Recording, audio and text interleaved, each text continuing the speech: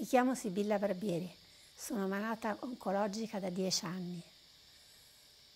Ho fatto tutte le cure che mi sono state proposte, anche le linee di trattamento all'estero che ho acquistato carissime, ma purtroppo non hanno più funzionato. Io sono una malata terminale e non ho più tempo. Conoscendo la sentenza cappato di J. Fabo, ho provato a chiedere aiuto per il suicidio assistito a casa mia, in Italia.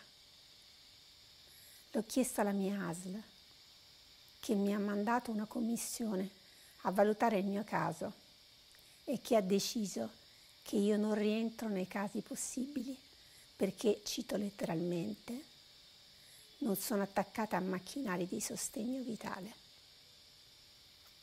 Ma pochissimi malati terminali di cancro sono attaccati ai sostegni.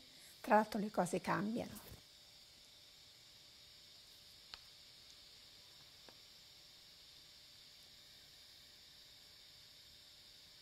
Questa è una discriminazione gravissima tra i malati oncologici e chi si trova in altre condizioni anche non terminali.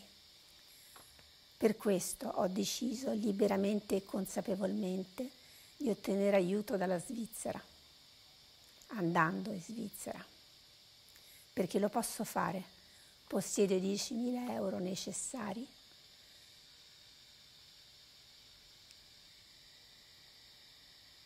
E posso ancora andarci fisicamente, anche se sono al limite.